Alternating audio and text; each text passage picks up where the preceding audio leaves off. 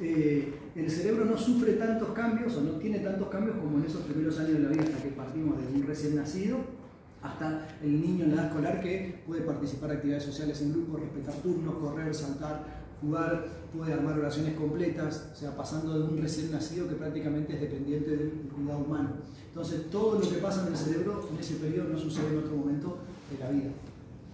Las habilidades del desarrollo son aquellas que vamos a ir adquiriendo paulatinamente desde que estamos en el útero hasta que cumplimos 6, 7, 8 años y que involucran las habilidades socioemocionales, que las puse arriba de todo porque es el motor del resto de las habilidades. ¿Qué significa? El cerebro viene preparado del útero para la interacción social, ¿eh? para que con la interacción humano-humano yo actúe, active sistemas en el cerebro. Sistemas son conexiones de células para cumplir una función. Entonces, el cerebro está preparado para que yo nazca y me mire mi mamá, le pueda mirar a mi mamá, a mi papá y tome la información que me da el rostro. Todo el tiempo, el lactante está tomando datos, miles y millones de bytes del triángulo que se forma entre los ojos y la barbilla. Y ahí voy tomando información del lenguaje, de los gestos, del tono de voz. Estoy viendo cuando mi mamá está contenta, preocupada, enojada, cómo mi mamá con su intervención, desde el tacto, el movimiento, el abrazo, la mirada, me regula, me calma, me ayuda a ordenarme, a organizarme. Entonces, esta habilidad socioemocional va a ser la, más temprana y la que va a promover el resto de las habilidades. Es muy común que los chicos que tengan desafíos tempranos en las habilidades socioemocionales y tengan algunas dificultades para lograr un control motor adecuado, usualmente son torpes, que tengan dificultades para el desarrollo de un lenguaje apropiado. Muchas veces la consulta en neurología es porque tiene un retraso del lenguaje y cuando los evaluamos encontramos que hay otros problemas de habilidades que son más tempranas, sociales, que no están resueltas habilidades de la atención y la conducta, que vamos avanzando desde el periodo recién nacido, las habilidades cognitivas para resolver problemas y las habilidades sensoriales, que también son muy tempranas y muy importantes, porque así como les contaba, en el útero, el sistema nervioso está tomando datos casi exclusivos de las sensaciones que recibimos en el útero, que son tacto y el equilibrio al movernos adentro, adentro del útero. Esa información cuando nacemos se vuelve mucho más compleja y hoy día con los dispositivos y con, con los estímulos que hay hoy que son eh, muy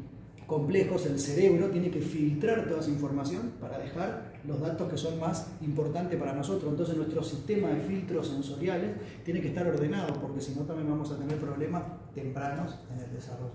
Bueno, estas son las habilidades. Por ende, cuando hay algún cambio en la manera de organizar estas habilidades, vamos a tener un trastorno del neurodesarrollo. Si tenemos dificultades en las habilidades socioemocionales, como principal característica y probablemente desarrollemos alguna forma de lo que se llama condición del espectro autista o trastorno de la comunicación social, que es otro trastorno del neurodesarrollo. Si tenemos problemas en el control motor, podemos desarrollar lo que se llama una dispraxia del desarrollo o un desorden de la coordinación motora. entonces los chicos van a tener dificultades para aprenderse los botones, cortar con cuchillo, pedalear una bici, atarse los cordones, escribir dentro del renglón si tenemos dificultades en el desarrollo del lenguaje, vamos a tener retraso auditivo del lenguaje, vamos a tener los trastornos específicos del lenguaje expresivo y de comprensión y mixto. Si tenemos problemas en la regulación de la conducta y la atención, vamos a tener los trastornos de la conducta y, de la atención, donde tenemos el déficit de atención e hiperactividad. Si tenemos problemas cognitivos, vamos a tener discapacidad intelectual, si tenemos dificultades para resolver problemas y desorden de procesamiento sensorial si no podemos organizar adecuadamente las sensaciones. Vamos, todas estas las ordenamos en, en el DSM-5, que es el manual de diagnóstico donde están clasificados todos los trastornos del neurodesarrollo. Cualquier cosa me, me, me paran. ¿eh? Bueno, entonces esto es lo que les contaba hoy, el volumen del cerebro se multiplica, están llegando en el primer año de vida, llega casi al volumen final, digamos a un kilo en el primer año de vida, y nosotros iba a pesar un kilo 300, un kilo 400 para el final de, del desarrollo cerebral. Entonces, en el primer y segundo año pasan cambios que son muy importantes. Por ahí, desde el punto de vista neurobiológico, y sobre todo relacionado con, con lo motor, que es por ahí lo, más evidente y lo que en general está más difundido del desarrollo por ahí, la mielinización del sistema nervioso es el elemento que rige principalmente las habilidades motoras. motoras. El cerebro tiene habilidades que, son, que se llaman innatas, innatas que las traemos de, de especie a especie, del Homo sapiens sapiens que se paró, caminó.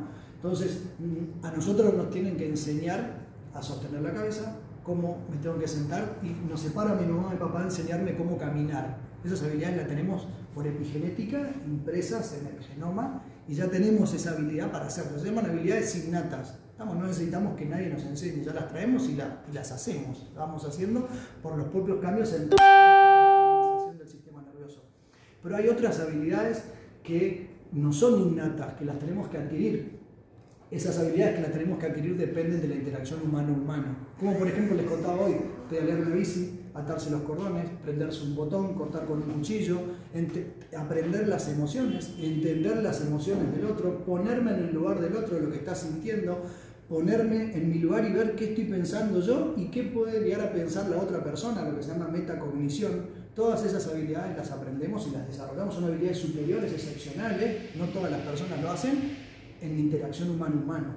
Entonces, eso no lo tenemos epigenético. Si no interaccionamos con las personas, si no tenemos una adecuada interacción humano-humano, esas habilidades no las podemos desarrollar. Y nosotros no las tienen que mostrar, yo la tengo que ver, la tengo que experimentar esas habilidades y después recién las puedo incorporar. Ejemplo, los chicos que tienen síndrome de Moebius, que tienen dificultades en el control motor de los pares craneales, porque tienen problemas en los núcleos oculomotores y tienen diplejía facial, no pueden expresar las emociones con los gestos. Entonces es difícil que puedan entender en el otro también las emociones, porque si ellos no lo pueden expresar es muy difícil que puedan comprender en el otro. Entonces esas habilidades son las que dependen de la experiencia humano-humana y no tanto de la mielina, ¿estamos? de la biología.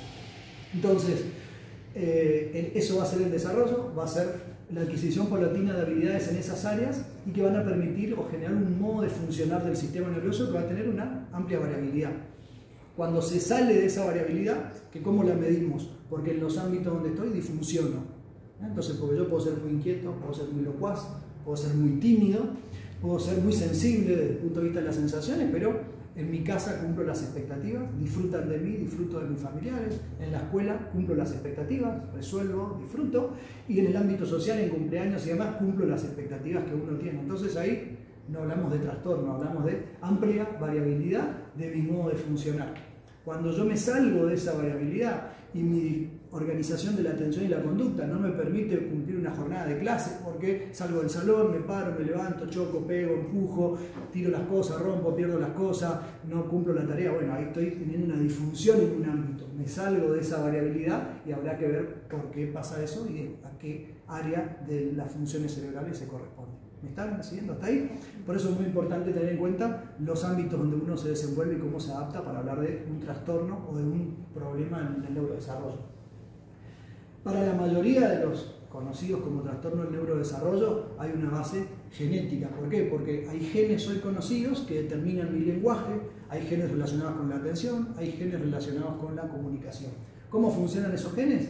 Esos genes sintetizan proteínas que generan un medio ambiente para que las células se conecten de distintas regiones. Por ejemplo, los chicos que tienen trastorno del espectro autista o, los niños que funcionan como con una condición del espectro autista, probablemente por causa genética o por factores importantes significativos de estrés ambiental, han modificado la conectividad, los sistemas de las, de las áreas de comunicación. Entonces tienen dificultades para procesar la información que, que tiene que ver con lo social, verbal y no verbal. Entonces, hay un componente genético y otro componente ambiental que va a determinar mi maduración del sistema nervioso. El genético lo traemos de los padres y el ambiente prenatal, perinatal y la interacción humano-humano temprana e inmediata. Ahí ya hay un principal factor de riesgo. Si yo nazco y en lugar de encontrarme con, la, con el rostro de mi mamá y con la interacción humano-humano, me encuentro con la, la cuna del, del neo, y la neo es un principal factor estresante para que yo tenga algún cambio en todas esas habilidades que nombré hoy del, desarrollo. Es un factor de riesgo muy importante. De hecho, recién nacido prematuro extremo, 25%, uno de cada cuatro chicos funcionan como, un niño con condición del espectro autista. Tiene significativas interferencias en los recursos de comunicación. O sea, ahí es una forma para que ustedes tengan en cuenta de cómo influye el ambiente. Bueno, si voy muy rápido, muy lento, me, dicen. ¿eh? Estamos en la previa. bueno, les conté que la mielina es un factor importante de, organización de las habilidades que tienen que ver con el control motor. Bueno, ahora las habilidades que principalmente van a impulsar o el, motor, digamos, del desarrollo son las habilidades sociales.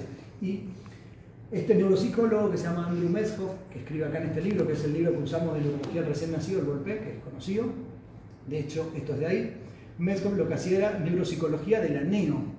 Y él veía que los recién nacidos de la primera semana y los primeros 10 días de vida ya pueden imitar los gestos de un adulto.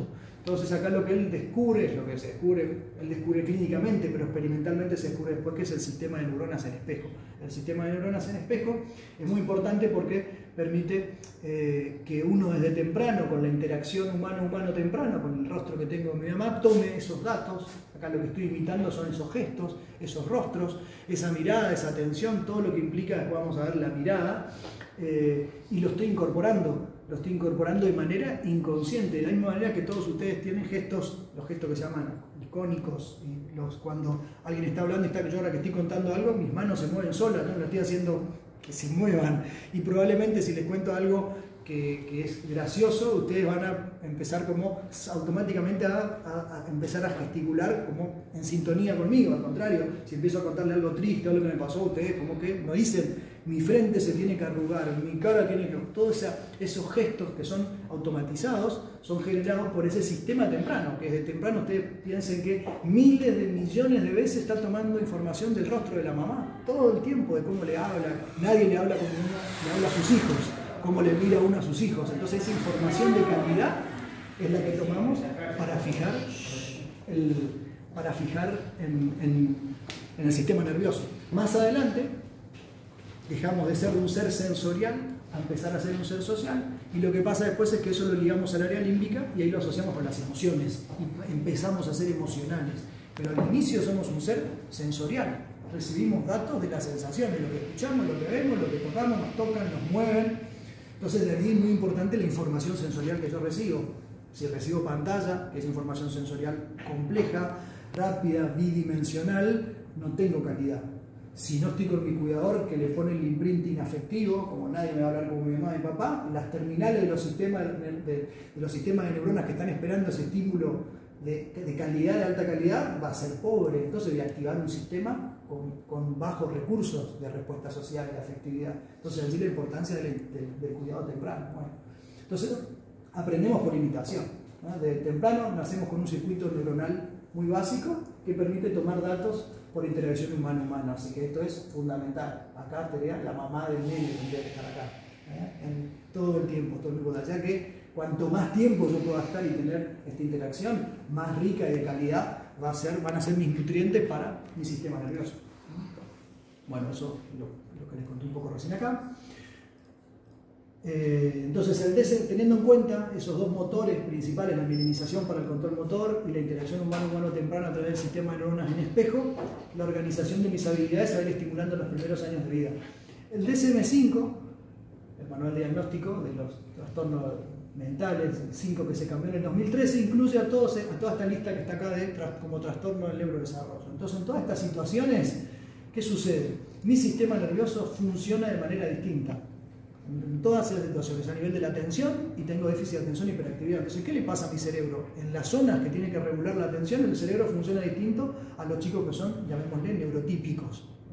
Entonces, alrededor de dos tercios, a 70% más o menos, de los chicos tienen un desarrollo que se llama desarrollo neurotípico o convencional. O sea que hay tres de cada diez que van a organizar su maduración de una manera distinta, en la atención, en el lenguaje, en la socialización, en la esfera sensorial, en la coordinación motora. Ahora, esos tres, ese 30%, probablemente ese modo de funcionar distinto va a ser tan extremo que va a tener interferencias en los ámbitos donde se desenvuelve y entonces van a calificar dentro de un trastorno del neurodesarrollo. O sea, lo que tienen los chicos que tienen un trastorno del neurodesarrollo es una manera distinta de funcionar del sistema nervioso. Y ahí vamos a tener, como les contaba hoy, la discapacidad intelectual, donde hay dificultades en la capacidad para resolver problemas, en sus habilidades cognitivas, trastornos de la comunicación, donde están el trastorno del lenguaje, expresivo-comprensivo, trastorno del espectro autista, déficit de atención y hiperactividad. Los trastornos de aprendizaje, si bien el DSM-5 los incluye, se diferencian de los trastornos del neurodesarrollo por lo siguiente. ¿Qué particularidad tienen los trastornos del neurodesarrollo? Son de inicio temprano. O sea, si yo ahora a los, veo un niño a los 6, a los 7 años que venía todo bien y viene a la consulta por un problema del lenguaje, y eso no sería lo más probable un trastorno del neurodesarrollo. El trastorno del neurodesarrollo empieza temprano, interfiere temprano, salvo que haya pasado desapercibido, pero todo lo que les nombré antes con anterioridad empiezan temprano en la vida, cuando estoy desarrollando mi sistema nervioso. Esa es la particularidad. ¿Qué otra particularidad? Que la mayoría de ellos, todos, El diagnóstico se hace de manera clínica, no necesito ningún estudio para el diagnóstico. Hay algunos instrumentos, escalas, entrevistas, que se utilizan para precisar el diagnóstico, pero en realidad son herramientas clínicas, no se usa ningún estudio. Y lo otro es que el diagnóstico temprano es muy importante, a veces la intervención temprana, que es lo que va a determinar el diagnóstico. ¿Por qué? Porque está demostrado que cambia el pronóstico de los chicos y de la familia. Ejemplo, si tengo un niño que yo puedo identificar alrededor de los dos años que tiene un funcionamiento de riesgo de condición, de condición del espectro autista leve, es probable que si hace una intervención apropiada pueda salir de esa situación. Y si tiene una situación moderada, pasar a leve, si tiene una situación severa, pasar a moderada. Entonces, lo más importante y lo que más sabemos hoy es que intervención temprana cambia el pronóstico. ¿Cuándo es intervención temprana? Y todo esto se está jugando desde el primer año de vida. Entonces, desde el primer año de vida estamos eh, estimulando, organizando, perfeccionando el funcionamiento de nuestro sistema nervioso. Si, si más tardamos, tenemos mucho más tiempo que el sistema nervioso está funcionando de otra manera. Eh, ¿Por qué saco aparte los trastornos del aprendizaje? Porque los trastornos del aprendizaje son enfermedades crónicas, son procesos crónicos, son maneras de funcionar crónicas del sistema nervioso que no se curan. Ahí están los trastornos del aprendizaje del cálculo y verbal, que es la discalculia, la dislexia, y el TAN, que es el trastorno de aprendizaje no verbal, que incluye la coordinación motora, y lo que se llama los velocidad de procesación de proceso lenta o de, procesamiento lenta. Son chicos que procesan todas las funciones en un tiempo más lento que otros chicos. Entonces, esto, que es trastorno de aprendizaje, persiste durante toda la vida. Entonces uno busca estrategias para resolverlo, pero por más que hagamos intervenciones, eso persiste. Alguien que tiene una dislexia que tiene dificultades para la decodificación de la lectoescritura perdura toda la vida con esa dificultad, sustituyendo letras, omitiendo letras, cambiando una letra por otra, escribiendo por ahí donde va la S, la C, donde va la C, donde va la S, por más que lo corrija, el otro día lo vuelva a hacer igual. ¿Por qué? Porque un circuito que está organizado en el cerebro para cumplir esa función de decodificación no se produjo, no se desarrolló y ya no se desarrolla. Por ahora no hay una... ¿Y no tienen una base en el neurodesarrollo, digamos, más allá que son, eh, que es algo crónico? Están, están relacionados, porque la mayoría de los trastornos del neurodesarrollo, bueno, el DSM-5 lo incluye, pero en realidad los trastornos de aprendizaje van van por otro lado. Pero son comorbilidad. Es muy común que los chicos que tengan algún tipo de trastorno neuronal, ya sea déficit de atención, hiperactividad o sobre todo la coordinación motora, dispraxia, que tengan trastorno de aprendizaje, que sean disléxicos, es muy común. Es mucho más común que en la población general. Es una comorbilidad. Pero bueno, el DSM-5 lo incluye. Eh, ¿Esto por qué es bueno? Y también no incluye otras dos situaciones que hoy están consideradas como eh, manifestaciones tempranas de estos trastornos del neurodesarrollo, que son el trastorno de autorregulación en sí, que ahora vamos a ver, y el desorden de procesamiento sensorial.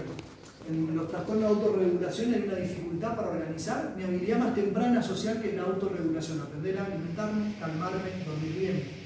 Aunque ustedes por ahí no, no, por ahí no, no lo... bueno, lo, lo resignifico porque es una consulta muy común, tiene 40% de, de, frecuencia de la consulta es alta, es muy común. Si hacen pediatría en consultorio, van a tener consulta por autorregulación. En neurología recibimos consulta por autorregulación cuando son eh, situaciones muy extremas.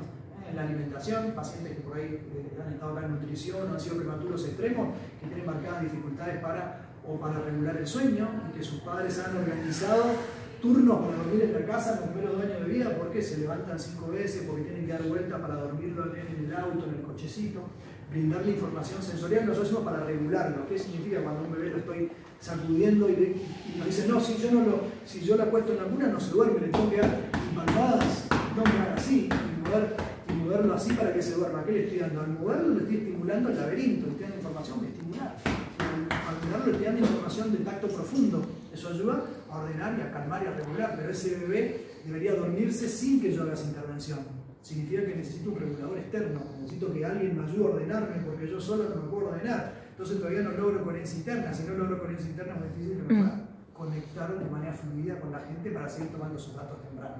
todavía en el DSM-5 estos dos no están. Si uno divide en edades, esto por ahí es más práctico para el pediatra, primer año de la consulta, desafíos en el desarrollo, lo más importante que, que uno puede recibir es autorregulación. ¿Por qué el DSM-5 no lo incluye todavía? Porque 40-50% de los chicos que tienen eh, TEA, que tienen déficit de atención y hiperactividad, tienen esto en los primeros años de vida. Es muy común. Entonces, lo que hoy se dice es, bueno, no, probablemente lo que estemos viendo sean síntomas tempranos de estos trastornos del neurodesarrollo. Pero en realidad hoy día ya hay estudios que muestran que muchos chicos tienen exclusivamente desórdenes de procesamiento sensorial y se han visto en estudios de imágenes, en estudios de, eh, de neuroimágenes, de resonancia, de tractografía, donde, donde se ve que justamente las fibras, las vías largas que comunican un hemisferio con otro, en los chicos que tienen problemas de procesamiento sensorial tienen dificultades. Para ordenarnos. No, Primer año, sí. No, perdón. Y de los, o sea, excluyendo a los pacientes que a posteriori serán diagnosticados con un TEA, eh, ¿qué se ve a largo plazo de los que son trastornos de autorregulación o desorden de procesamiento sensorial? ¿Se manifiestan como trastornos de la conducta alimentaria, el sueño en la edad pediátrica más avanzada? No, en general la, interferencia más temprana, la interferencia es más temprana, los primeros años. Un porcentaje de ellos pueden, digamos, desarrollar con el tiempo tanto la autorregulación como los profesores de procesamiento sensorial, desarrollar alguno de estos dos cuadros principales. Condición del espectro autista, trastorno por déficit, y acá usualmente el perfil de desorden de procesamiento sensorial es la hipersensibilidad hipersensibilidad multisensorial, es auditiva, táctil, proprioceptiva, no toleran sonidos habituales, no toleran el tacto, que le corte la uña, que le corte el pelo, eh, no, no, no toleran ser alzados algunos chicos. Pero bueno, eso va en general en el contexto de sus dificultades en la comunicación. Pero hay un gran porcentaje de chicos que no desarrolla la condición del espectro autista, pero que tuvieron esta misma interferencia en etapas tempranas de la vida.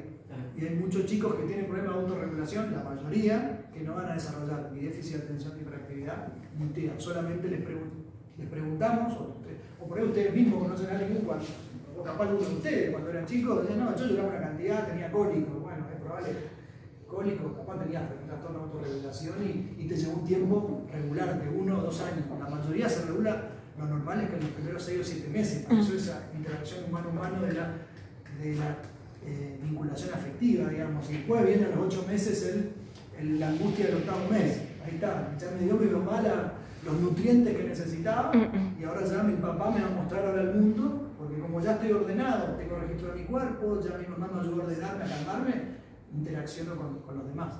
Pero sí, la mayoría puede ser exclusivamente estas dos situaciones y no desarrollar ninguna de las dos.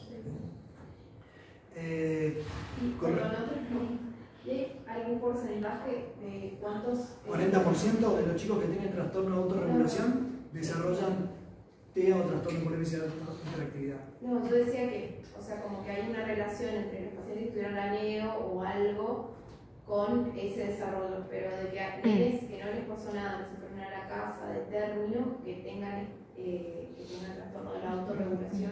Sí, la prevalencia es alta, ¿sí? hasta 20 o 40% dependiendo de qué sea. Los de alimentación son los más comunes, sin tener factores de riesgo. Sin tenerlo. Es más común que tengas sin tener factores de riesgo. El factor de riesgo más importante es la deprivación sensorial. La deprivación los chicos que, es muy común, los chicos que están institucionalizados de manera temprana, esa deprivación sensorial de calidad, porque le brinda la, interacción de brinda a alguien que le da información de baja calidad, por lo que contábamos hoy. Nadie me mira, ni me habla, ni me entona, ni me gesticula como mi mamá y mi papá. O sea que todos los demás me dan información de baja calidad. Entonces, eh, es el principal factor de riesgo, la deprivación sensorial temprana. La neo cumple lo mismo. Están mis padres, pero yo estoy en otro lugar. Mi sistema, porque a ver, ¿la autorregulación de qué depende? Depende de mi sistema básico de atención, que está en el tronco cerebral, el SARA, es la red de alerta, el sistema activador reticular ascendente, se, va, se despierta y ¿qué hace? Hace un, escaneo de mi cuerpo y de mis sistemas, respiro bien, mi corazón está bien, no tengo ninguna alergia en el tubo digestivo, no tengo ningún problema, logro mi estabilidad interna con la conexión con mi mamá. Estamos, ahora sí, ese SARA se activa, yo tengo fibrosis quística, tengo alergia a la proteína leche de la vaca, tengo una cardiopatía congénita, mi SARA va a estar alerta a esa zona, a ese foco de mayor estímulo, entonces voy a tener menos reserva para regularme. Entonces es muy común que los chicos que tienen factores o situaciones de riesgo tempranos en los primeros meses de vida tengan trastornos de autorregulación, que sean difíciles para dormir, sean difíciles para alimentarse, sean difíciles para lograr el autoconsuelo, para calmarse. Eh, esa es la consulta del primer año de vida. La consulta principal, muchos no consultan, recién ahora se está empezando a consultar, antes era como estaba entendido, y a vos te tocó, y bueno, conmigo no dormiste, te decía la abuela a la mamá, y la mamá le decía, bueno, ahora yo no duermo porque mi hijo no duerme.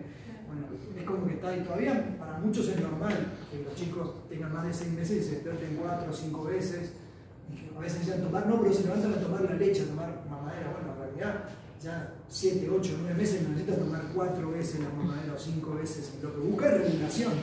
Regulación oral, propioceptiva y táctil de la succión. Si le damos un chupete también pasa lo mismo, si la mamá le da el dedo por ahí pasa lo mismo. Entonces está buscando regulación porque no encuentra cómo ordenarse. Entonces necesita datos su cerebro que lo toma con esa succión.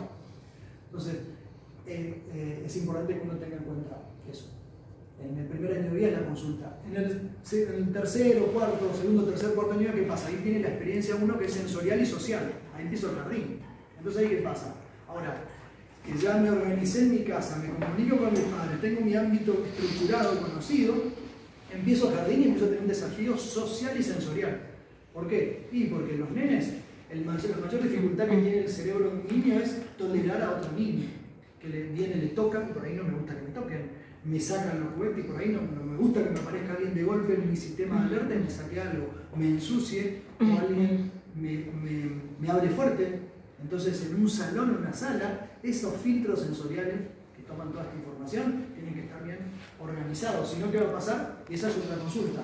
Los desafíos de la autorregulación y el procesamiento sensorial empiezan a ser más frecuentes en el desafío social. Empiezan el jardín y ahí vienen a consulta por qué. Y no, se esconde toda la clase, está bajo la mesa quiere huir. No, pega, choca, empuja. Y pero hay varios nenes que pegan, ¿eh? Le pega a los compañeros, tira, rompe los juguetes. No entiende cómo jugar con los juguetes. O no se quiere quedar, quiere salir. Empieza, entra y una vez que pasan 20 30 minutos de la, de la jornada de la sala, se quiere ir del aula, quiere salir, quiere salir. Entonces, todas esas son manifestaciones de un cerebro saturado. El cerebro saturado decimos, ya está, cerró los estímulos que vienen y ¿qué hago? Huyo, me quiero ir, choco, pego, empujo o me aíslo me aíslo, el recurso más temprano de aislamiento lo tiene el bebé, dormirse 15, fiesta de casamiento, uno dice, pero mira cómo se durmió, claro, pobre, se saturó de estímulo, que cerró la ventana para protegerse, es un mecanismo de defensa, puso una barrera extrema a los estímulos y se duerme. Bueno, un niño en el aula que está saturado, ya está, ¿qué hace? Cierro la ventana, aíslo, voy a jugar solo, no quiero que vengan acá y que me van a tocar, que me van a hablar fuerte, que me van a ensuciar, la seña que me pide que trabaje con témperas, ¡buah! Témpera, bueno, alguien que tiene hipersensibilidad, que procesa toda esa información de manera distinta, no puede ordenar esos estímulos. Entonces se satura. Se satura a veces a la entrada, se satura a la hora, se satura a las dos horas o al final de la. Porque dice, bueno, siempre arranca bien el lunes, pero al final a las tres horas ya no puede estar fulanito, ya lo tenemos que sacar a dar una vuelta, porque ya empieza a levantarse, se quiere ir, choca, pega, empuja. Bueno, se saturó. Dura ese tiempo antes de saturarse. Entonces, la consulta de los desórdenes de funcionamiento sensorial y los desafíos sociales como los trastornos de la comunicación en comunidad, suceden en ese periodo. La experiencia del jardín no es cognitiva, es social y sensorial. Ahora, cuando empiezo la escuela, ¿qué consulta viene? Y cuando empiezo la escuela vienen los trastornos de aprendizaje.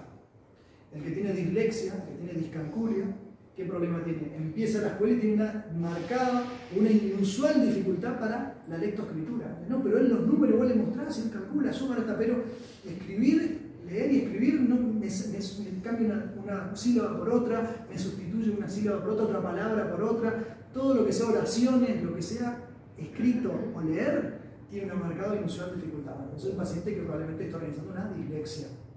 Lo mismo para el cálculo. No, con lengua perfecto, pero le tienen que hacer sumar, restar, multiplicar. No, no, bueno. Entonces los trastornos de aprendizaje aparecen generalmente al inicio de la escuela.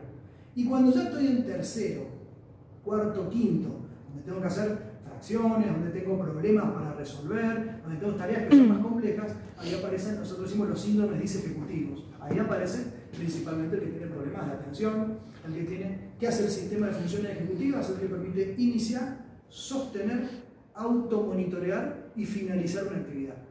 Entonces, por ejemplo, tengo que, que hace un disejecutivo, puede consultar, está en segundo o tercer grado, donde empiezan a exigirle más, tiene que llegar. Lo primero que tengo que hacer es llegar a la escuela, me saquen el cuaderno azul que vamos a trabajar en lengua. Abre la mochila, tiene 10 cuadernos, 4 cuadernos, todos son azules. Ah, dice, ya ahí primero se distrae con todos los que están ahí, que son todos, ¿cuál será? Bueno, será este, listo, saca el cuaderno. Bueno, ahora la que saquen, la, vamos a escribir con virome azul. abre la cartuchera y es como un bolsito que tiene la cartuchera el centímetro, todo mezclado. Imaginen ahí alguien que después de iniciar, sostener y finalizar la tarea se va perdiendo en esas funciones. Ahora tiene que abrir cuaderno y encontrar la página, la última donde quedaron.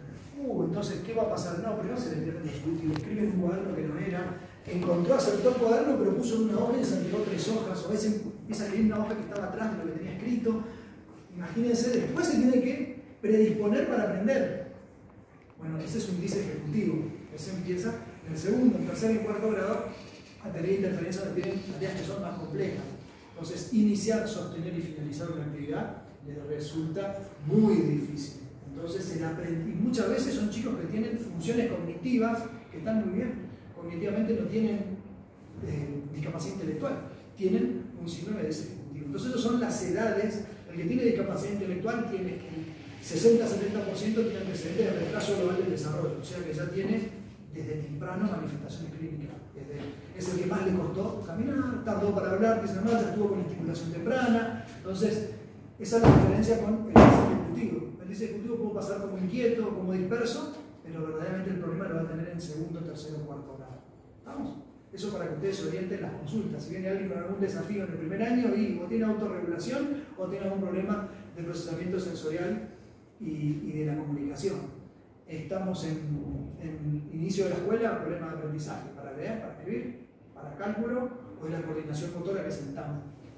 Y para ya tercero, cuarto, quinto, vino bien, no pasó nada, dice ejecutivo. Problema en la función ejecutiva. Atención, memoria, planificar, hacer actividades. Entonces ahí dicen, yo en casa no puedo organizar nada, no, se baña solo, no puede, no, puede hacer las cuestiones de la mesa, hay que prepararle todavía la ropa para que se que se bañe, la mamá le tiene que decir cómo tiene que bueno, abrir la ducha, eh, primero abrir la canilla, luego buscar la remera, trae la remera, trae el pantalón, el calzoncillo, porque si no se puso el pantalón, no se puso el calzoncillo, se puso la zapatilla, no se puso la remera, la media, eso es la historia del que tiene un síndrome de diseño. ¿Estamos acá? Y en ese caso, si en ese momento no se logra poder guiar a ese niño, ¿eso se puede llegar a mantener o una vez superada esa edad o eso se perpetúa? eso en general, los síndromes de ejecutivos, el más más importante tiene que ver con la atención y es el trastorno por déficit de atención y hiperactividad.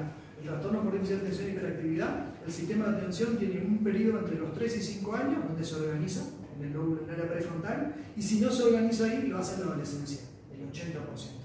El 20% es adulto con déficit de atención y hiperactividad, que tiene accidentes, no puede mantener una actividad laboral, tiene múltiples parejas, tiene actividades de riesgo, conducta eh, sexual de riesgo, riesgo de adicciones es, compleja la vida del adulto con déficit de atención y hiperactividad porque adquiere riesgos para, toma responsabilidad para la cual no está preparado. Puede, por ejemplo, aceptar un trabajo donde tiene que manejar una máquina y, la impulsividad lo lleva a decir que sí, no pasa nada y no tiene ni idea de cómo se maneja esa máquina. Entonces puede provocar accidentes, es muy propenso a los accidentes. Y por la impulsividad, a tener lo que se llama sistema de recompensa inmediata, que es lo que tiene un nivel con los jueguitos. El jueguito te da una recompensa inmediata, bueno, eso te facilita las adicciones, ¿eh? porque justamente esa dificultad para regular la atención le impide esperar el tiempo para, bueno, no, vamos a terminar la clase y después me